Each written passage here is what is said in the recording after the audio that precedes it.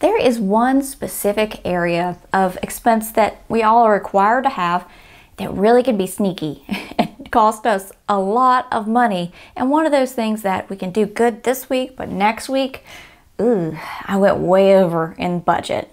That area is food. We all have to eat right? Well, the costs are crazy. We know that. But you will hear many people say these days, well, it is what it is. There's no way to get past it. It's just a ton of money to go to the grocery store and get food. So there you go. I disagree. I still think that you can strategically plan. There are things that you can think about and do during the week and during the time you're going to the store that can specifically still save you money. Sure, it probably won't save you as much as it did four years ago, but it's still a significant savings that most people just don't take the time to look into. So in this video, I'm going to tell you 25 plus, there's more than 25 of them, great ways to save on food. Remember that everybody's situation is completely different. The members that are in their household, the amount of them, where they are in their life. So just because one or more of these tips don't work for you in particular, that's okay. That just means that it's not for you. It may be great for somebody else. So just listen to this list, have a piece of paper or your notes app out on your phone, and when you hear one that you want to think more about or identify or maybe go ahead and put into place, then jot that down and then resume the video. Now, let's get into, in no particular order, these tips. Number one, I'm going to start off with what happens in my house. I will go every Saturday morning and start writing out my grocery list, and I'll say to my husband, hey, anything that we need that we're out of, can you help me think of it? Because my brain's overworking right now. I'm trying to, you know, make sure I write everything down. And he goes, yeah, purple bag Doritos. Mm, not so much. There is something called a reverse shopping list, or you could call it a master grocery list. This is where you kind of do things in reverse, where you're the type of person you get the same cereals every week, the same cream cheese and bagels, the same peanut butter and jelly sandwiches, the same vegetables, the same uh, fruits, the same frozen items. You know what you use throughout the week regularly. Well, put those items down on a list, the items that you know you need in your pantry to do your cooking for the week.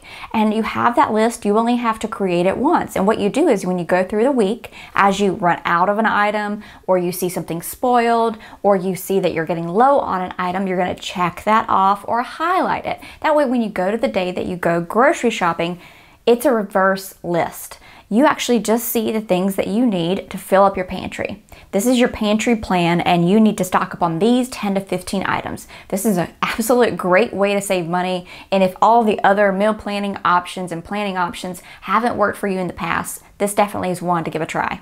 Number two is another one that I want you to kind of reverse and start looking at it a different way. And it's to rethink what dinner is. And no, I'm not necessarily talking about breakfast for dinner every single night, but I'm talking about you know, I go back to the movie A Christmas Story. If you've seen A Christmas Story, make sure you click on that like button down below because it's just a classic. You know, they run it for 24 hours during Christmas. But I think about the meal when the mom's in there cooking, and I feel like she's always in there cooking. You got the meatloaf, the mashed potatoes. Remember Ralphie? It wasn't Ralphie, whatever his, his brother's name was, shoving the potatoes because he wouldn't eat them. He was meatloaf, meatloaf. But all of these things, we think of dinner as a meat a vegetable, a starch, and all these things take different preparation times, different pots and pans, and it's a big orchestrated meal because that's what dinner is supposed to be. Especially during the week or the times when maybe everybody's running around and it's late, rethink what that dinner is. Dinner doesn't have to look like that all the time. Sure, that is a great treat to have especially the weekends when you have more time to cook. But if you don't, rethink it.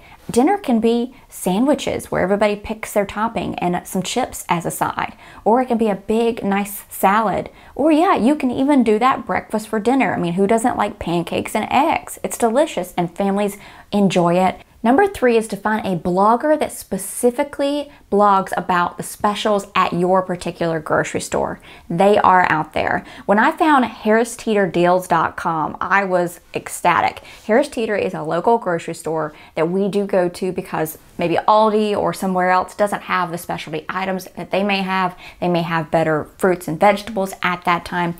And we go there and it can be fairly expensive. And throughout the week, really, I don't have the time to sit and browse through the circular and then match the circular up to whatever coupon could be or determine if something that is on sale is really a sale or they're just trying to, you know, go around and jack up the price and then bring it back down bloggers like this know those stores. They do the work for you. So I easily just go on to the Harris Teeter website, I will look at their weekly ad and then I'll compare it to harristeeterdeals.com. I will go through there and she'll say, this is a great deal. Make sure you stop on stock up on this. If you get this buy one, get one, and you add this coupon that's on the store app, it comes down to X amount per unit. It is fantastic. So go to see if you can find somebody who has that type of a blog for the particular grocery store that you use in your area. They have already done the time the work, so why don't you save the time and their blogs are part income for them. So viewing their blog is also extremely helpful for that blogger.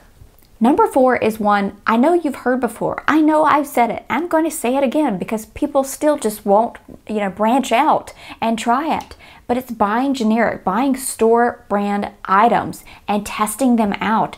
They can be 20 to 25% lower in cost than a name brand. And oftentimes, the name brand, when it's on deep discount or a sale or buy one, get one, is still a higher unit cost than the store brand. And for those people who, you know, for me, I was raised on whatever was cheapest. So I don't have a palate that knows the specific difference in this mayonnaise versus this mayonnaise. That's for certain. But there are so many people that get stu stuck. I get stuck on words sometimes. They get stuck on words like taste.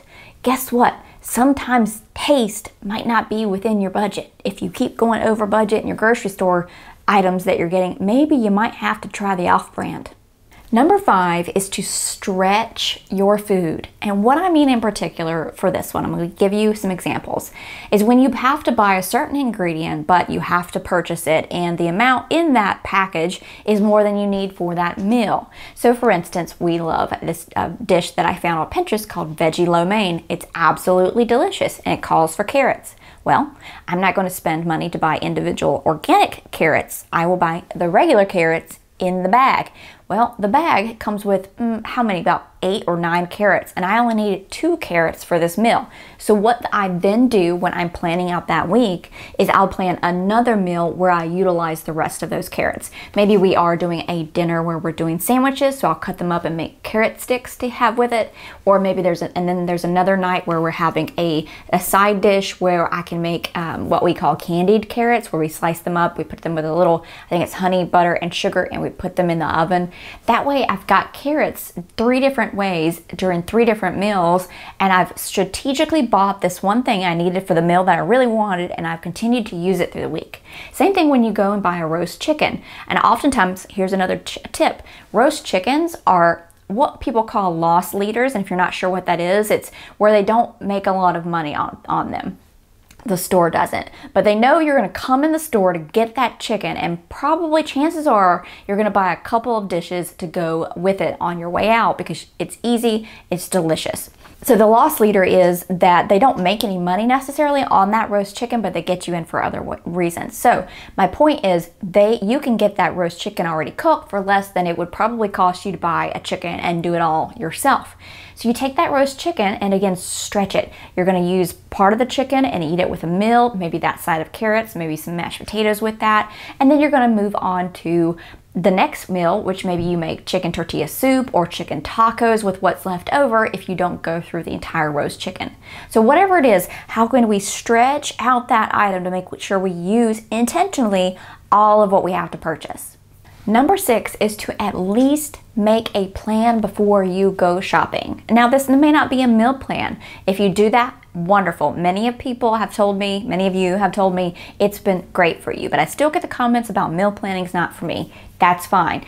You still need to plan before you go shopping. You know, need to know what you're going to get. This it means looking in your fridge, what do you have? Looking in your pantry, what do you have? Looking in your freezer, what do you have? Looking at the ads or that blog I talked about earlier. What is it that's on sale that I can get? Because if you just go in without a plan, you are going to go ahead and plan and fail and be way past your budget.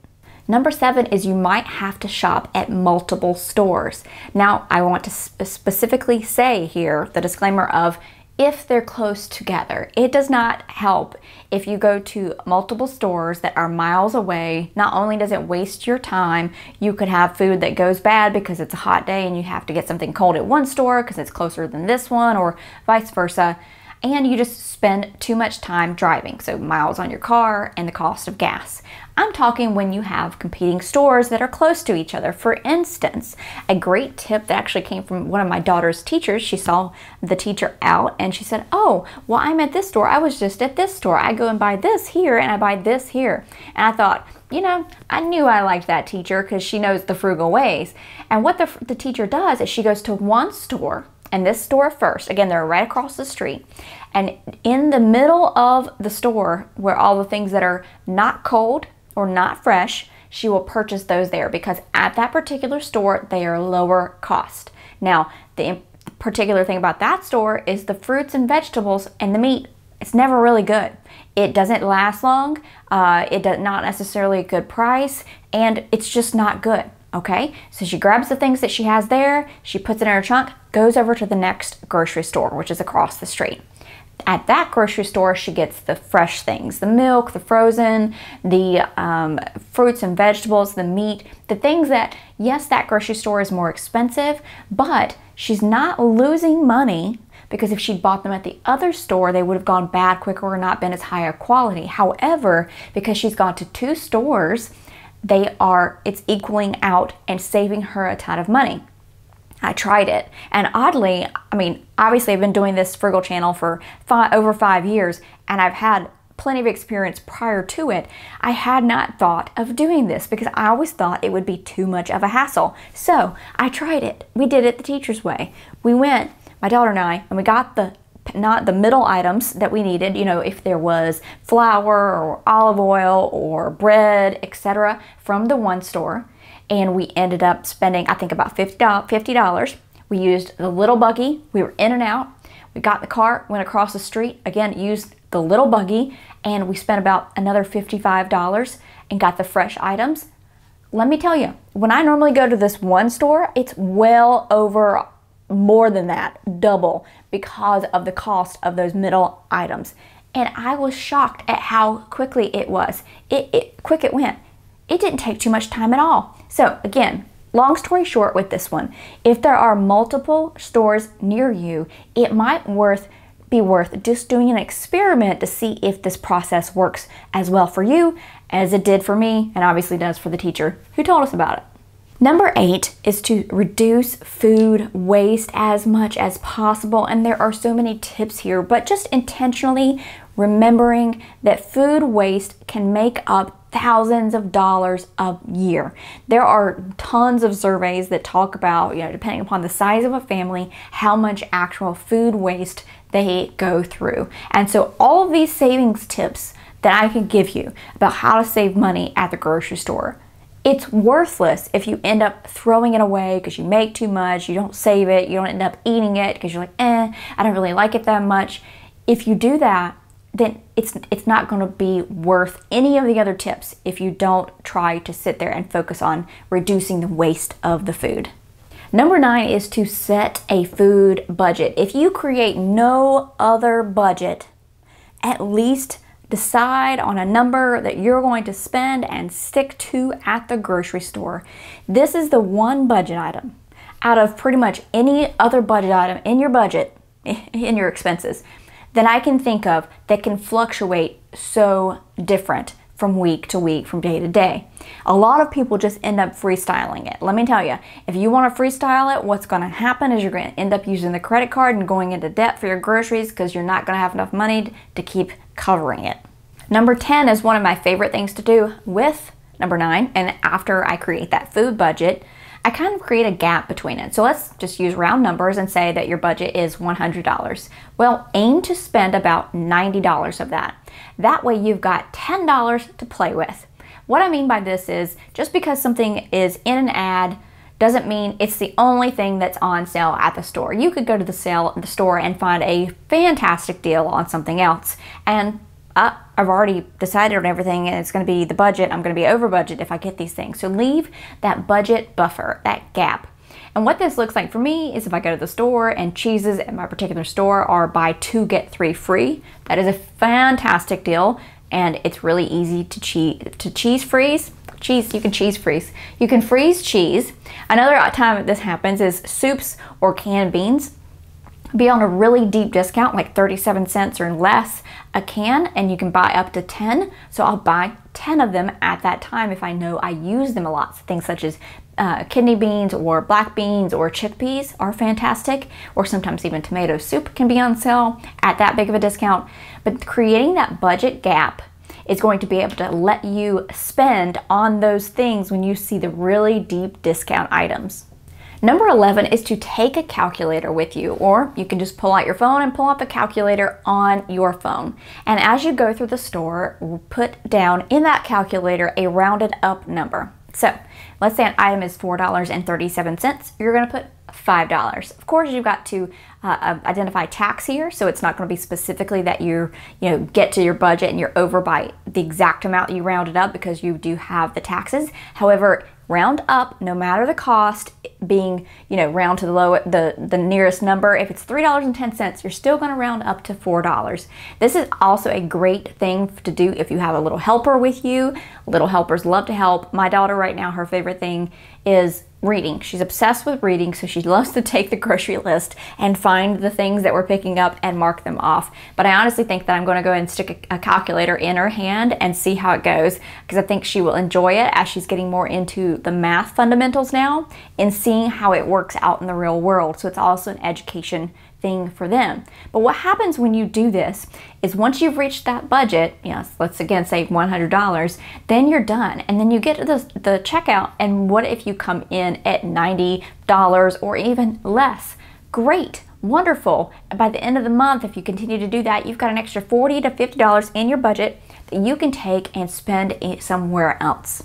Number 12 is to always, always, always sign up for the loyalty program at your grocery store. These are giving way to coupons. You know, back in the day, the paper coupons, you know, the couponing, extreme couponing, basically that's a, it's a dying industry as far as that goes. And the coupons are now being loaded on the app the sales are through the app. This is easier work for the grocery store because it's just the scanning of the app. But also, they will have benefits. These are things that you're buying anyway. I'm not talking about credit card benefits. I'm talking about things like if you spend $100, you get 10 cents off of your gas. It's a fantastic deal. I know one time what we'll often do is because the gas station that associates with the store that we use is not always the most convenient to us. So we'll wait until our money kind of stacks up on it and we know we're going past it and we will fill up. I have saved up to over a dollar a gallon by the amount of monthly points I've had stacked up on my card. So always sign up for the loyalty card and see what those perks are. Number 13 is regarding bulk buys. This is one you'll often see as a frequent tip for grocery. Now, I want to say bulk buys are great. Keep in mind that these are things that you want to get that are a longer shelf life or just non-perishable items, consumable items, things like toilet paper, uh, soaps, dishwasher things, maybe some canned goods, things that last longer, pasta, etc. If you have larger families, certainly those big, huge things of fruit and food might be also beneficial for you. But make these bulk buy trips less often. And obviously, it's easier to do if it is doing it less often because you're stocking up on things that aren't as perishable. So that's just my tip right there for bulk buys. Do it intentionally and make sure that you're getting the benefit there. Number 14 is to do what they did back during the Great Depression, and this was to use fillers.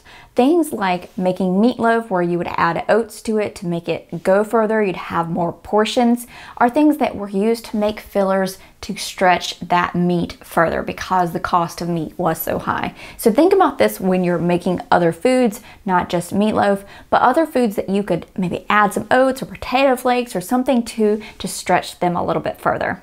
Number 15, counter to number 14, you don't stretch the meat, maybe you eliminate the meat for some meals and you substitute them for non-meat proteins like beans and lentils, things that are still whole foods. Even somebody who absolutely loves meat can understand replacing that portion of a plate every once in a while, maybe a meatless Monday, with some delicious versions of these meals. And honestly, you can do so much with lentils and with beans and with chickpeas that are delicious and great, still great sources of protein and are way less expensive.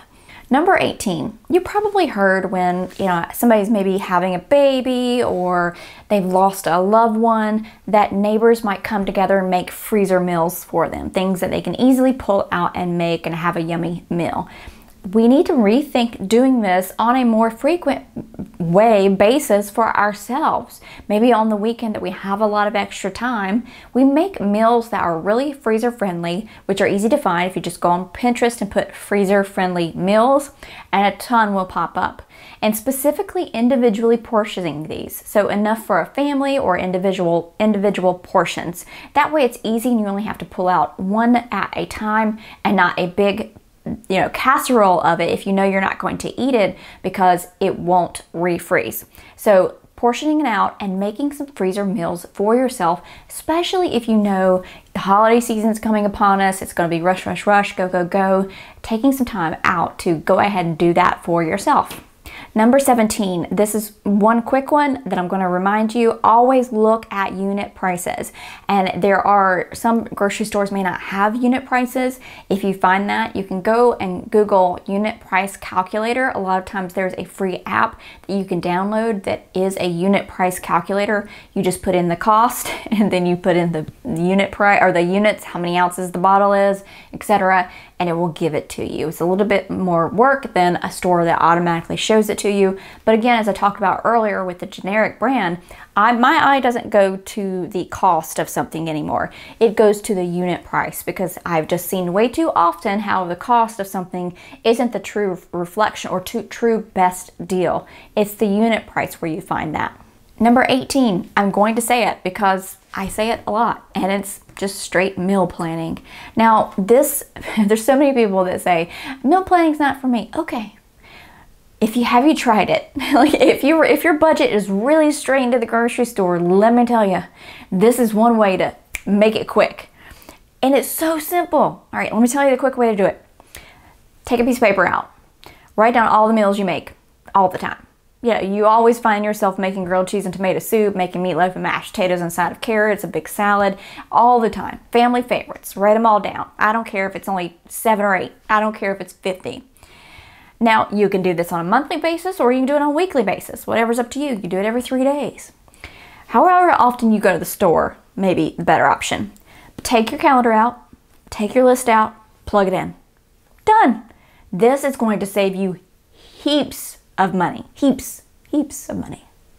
Number 19 is one of those things that we want to put as much resistance towards procrastination or you know going out to eat or the excuse more ra rather of I'm too tired. Number 19 helps with this and it is to prep for your meals for the week. And this does not have to take a long time. This is simple as maybe Sunday afternoon. So maybe you're typical, you work Monday through Friday. Maybe Sunday afternoon, you take the chicken breast and you chop it up into little cubes and you chop up your bell peppers and your onions for your, you know, for your chicken and, and vegetable rice meal on Tuesday. And then maybe, for instance, like me last Sunday, we had black bean burgers on Monday. So I went ahead and took the black beans, put them in the oven, got them a little dried out, chopped up and sauteed my onions and my, um, what do you call those things? Bell peppers, as I just mentioned. Put them all together. I patted them out, put them in the fridge so that Monday when I got home, all I had to do was pop them on the grill. Things like this help, again, put resistance against that excuse. Well, I've already prepped it and it's only going to take a few minutes. Prepping during that time is going to save. It's going to save you, you're going to eat better, and you're going to save money. Number 20 is one that many of you over the years have said has been, well, more recently since it became a more widespread thing, grocery pickup has been the way that you know you're going to stay on budget with your food. Because most of the places there's a minimum, maybe it's $35, and there's no fee after that. You put in your what you're going to uh, what you want to buy. You can sit there on the app or on the computer and you can plug it all in. You can see everything check it off your list make sure you have everything there. You can see the running total. Yes i'm within budget. I can even still see if something else is on sale. I've got a little bit more room in my budget so i'm going to put a few more cans of those soups that were on sale in my cart. And what this does is again keeps you out of the store, keeps you from temptation if that's an issue for you, keeps you from smelling those bakery goods or smelling that rotisserie chicken that I continue to talk about that I don't I no longer eat because chicken and me do not mix very well and that keeps you from making those purchases and it has saved so many people money. Now, there are a few as with anything caveats. Always check your order to make sure everything is in there that you purchased. Always check your fruits, vegetables, and things. Make sure they're good quality. If they are not when you're home, call. My store, when I have done this, and I don't do this all the time, but when I've done this in a pinch, maybe a busy weekend, they will actually credit me for the full amount of the item and I can go and get a brand new one. Number 21 is to stop looking at what's just in front of your face. what's in front of your face at, I don't know, the typical average height of an adult human is not always the best price. Oftentimes, that is the item that is the most profit for the store. So it's going to be the, their lowest cost, their highest uh, cost, their lowest cost, your highest cost, the most margin that they make. So you're going to want to look up and look down. Because again very similar items but you're going to save a ton of money. Just do it experiment a bit if you have some extra time at the grocery store and just look at the unit price differences between what's at your eye level and what's not. Number 22 is when you're making a meal or when you're planning to do it. This is one thing we love to do is we will make two or three extra portions. So we'll make enough as if there were two or three extra people. And that way, my husband and I have additional meals that we can eat through the week for our lunches. And it's not one of these situations where you meal prep by you bake a whole bunch of, you know, rice, vegetables, and whatever other protein source and you have to eat that six days in a row and nobody really wants to do that. Hey, if you can do that, great, fantastic. But a lot of people have an objection to that. They want a little bit of variety. And doing this where the meals that you make a little at a time, you make more than what's needed, then you can actually eat different and more variety through the week so that you don't get burnout on it. Number 23 is to shop the perimeter of the store. Spend as little time as possible in the middle aisles. There obviously are things that you will need in the middle aisles, let's say like cooking oils or spices or pastas, etc. Certainly. But stay out of the middle aisles as much as possible.